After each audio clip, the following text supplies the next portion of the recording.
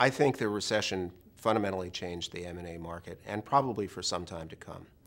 It drove financial buyers out of the marketplace, which drove prices and multiples down.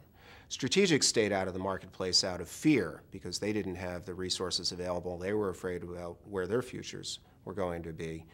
Now that some of that fear has begun to subside, this is an awfully good time for strategics to get back into the marketplace. The key, though, is to make sure that the fundamentals of the acquisition are sound from day one, to make sure that the underlying business purpose of the acquisition is well understood, to make sure that the acquirer knows what success looks like, they know how to get there, and they know how they're going to integrate the acquired company to ensure success.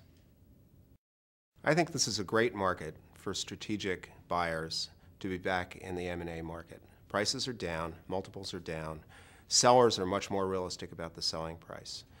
I think the key to a successful acquisition really starts at the time the planning for the acquisition begins uh, with integration planning. If you don't have a successful integration, you will not have a su successful acquisition. I think the integration planning starts at the very beginning of the process. It's five years from now. We're celebrating. We've cracked the champagne. What is it we're celebrating? What does success look like? And then break that down functionally. What does success look like for the financial function, for the IT function, for the marketing function, for the sales function? What does success look like from the standpoint of the customer? If we can keep all of that in mind as we begin planning our integration, we can get to a successful integration. Integration requires a central focal point, someone who's responsible for bringing the integration forward, for managing the meetings, for driving to a decision, and for making sure that things happen quickly.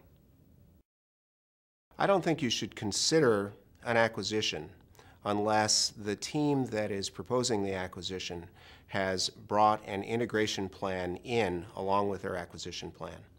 They need a day one plan before they have the first conversations with the acquisition target. What are, the, what are you, going to be your priorities going forward? Back to the subject of what does success look like? How do you get to success? And how do you involve the management team of the acquired company from day one in achieving success. If the management team of the acquired company and the management team of the acquiring company have a shared vision of success and share in the fruits of that success, then you can get to a successful acquisition.